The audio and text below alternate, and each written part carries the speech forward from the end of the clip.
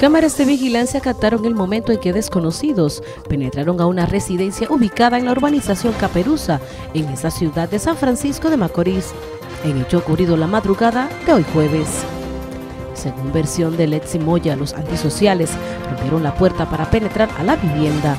Los datos ofrecidos por el denunciante desglosan las pertenencias sustraídas, entre ellas dos computadoras, una maleta conteniendo prendas de vestir, una tablet, tres televisores, un maletín con documentos de propiedades inmuebles.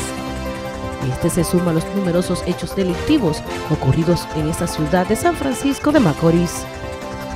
NTN, Joanny Paulino.